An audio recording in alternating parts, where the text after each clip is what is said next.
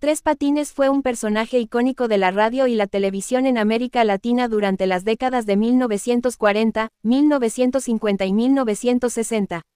Interpretado por el actor cubano Leopoldo Fernández, Tres Patines se caracterizó por su humor absurdo, su peculiar voz y su habilidad para improvisar.